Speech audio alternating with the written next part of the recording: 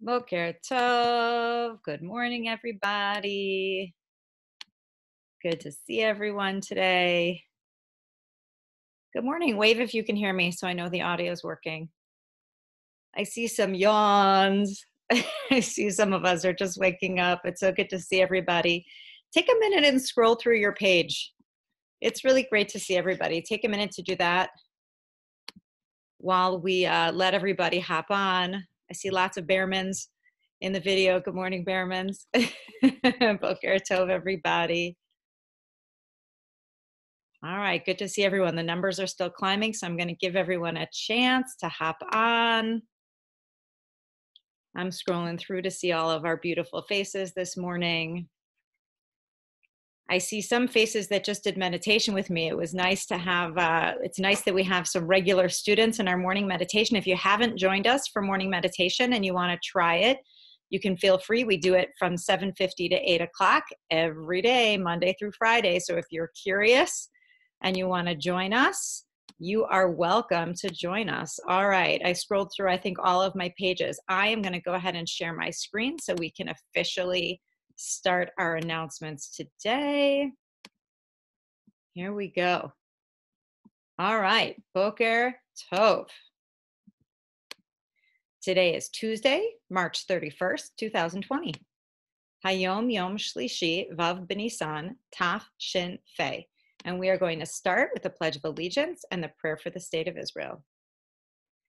I pledge allegiance to the flag of the United States of America and to the republic for which it stands, one nation, under God, indivisible, with liberty and justice for all. Avinu Shabashamayim, Sur Yisrael v'goalo, Barech et Medinat Yisrael, Reshit Smichat Geulatenu. We do have a few birthdays today. First, happy birthday to Maura Kara Gutstein. Happy birthday to Jesse Ehrenwald and happy birthday to Jacob Weinberg. Hope everyone has really great birthdays today. All right, a couple of quick announcements, and then we have time for a question of the day today. This is really for the parents who are watching. Um, a reminder that there's going to be a class tonight at 7:30 called "Building Our Parent Toolbox: Resiliency in Times of Uncertainty" with Nancy Kaplan and Elisa Rotman. That's going to be tonight. The link should be uh, on our web interface. Um, so I hope that you will join us for that. The book of the day is one of my favorites. It's called Mr. Peabody's Apples.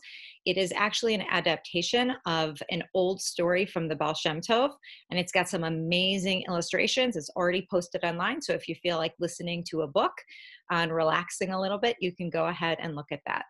Okay, so here's going to be our question of the day, and then I'm going to open it back up. I'm going to stop sharing my screen in the middle. But yesterday, I asked everyone to think about maybe making signs for first responders in your windows. So here's my question for you What signs have you made or can you make? For your window to help people feel more connected, right? We are, I'm going to stop sharing my screen for a second. We are, can you see me again? Give me a thumbs up if you can see me again. Can you guys see me? Give me a thumbs up. Okay, great. Um, we are all kind of stuck in our houses, but we're all still connected. And there are lots of things that we're doing to be connected. This is one of them, right? Beginning our day together as a community. But I have seen when I've walked around my neighborhood, I have seen lots of signs in windows uh, to help people feel connected. So I want to hear something that either you've done or something that you think you could do or something that you've seen that would be a cool way to help people who are walking by feel a little bit more connected to you. So I already see a whole bunch of hands going up. So Ellie Noah, I'm going to unmute you. Go ahead.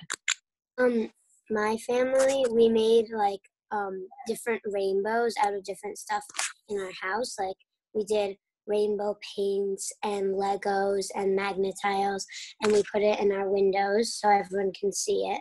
And one thing you can do is you can make a sign that says like "Stay strong" or "Be happy" or "Smile" and put it in your window, and people will really like that.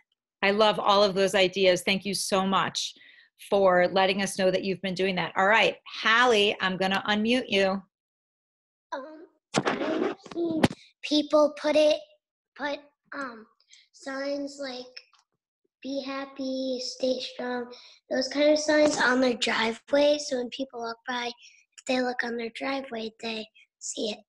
I love that. I've also seen some of the chalk messages on people's driveways. Hallie, that's an awesome idea. Thank you so much. Okay, uh, Ari Shondorf, I'm going to unmute you. Um, um, um we're, we're, doing, doing chalk art and like doing different uh, and, art, and different art, and we're also tracing us in chalk.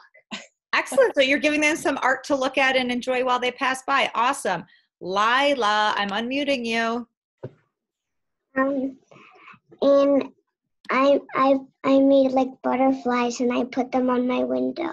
That's because, so nice. Because in in art class we made butterflies and I put them and I put them on my window and I'm That's gonna put and I'm gonna put them on my window. Fabulous. We've got butterflies, we've got rainbows, we've got all different kinds of things. Okay, let's see. Hold on. Um, Noah Bareket, I'm gonna unmute you.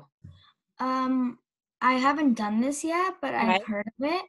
So you can take magnet tiles and put them on your garage and make a like you can make like a word or a phrase or something and you can also like encourage people to do kind stuff one and two to be happy and be thankful that some people we are the majority of people have houses under no roofs under their head so. Beautiful. I love that. Thank you so much. You gave us the idea of the Magna-Tiles and some of the messages we can do. Okay, let me see. Um, we're going to do uh, Brooke Fox. Brooke, are you there? I unmuted you. Yeah. Okay, what idea do you have for us? I um made a picture of a doctor helping another person and I wrote under it, thank you. I love that. That's so beautiful. These are all amazing, amazing ideas. And I hope that we all do something. We do a little bit of something. I love the idea of even rainbows and butterflies and different things just to make people smile or messages of be strong or messages of gratitude. There's so much that we can do. All right, we're going to end together. Say it with me. Let's remember every action counts, action counts. and every word has power. So choose actions and words that will make the world a better and kinder place. Sending you all wishes for a wonderful, wonderful day. I'll see you tomorrow.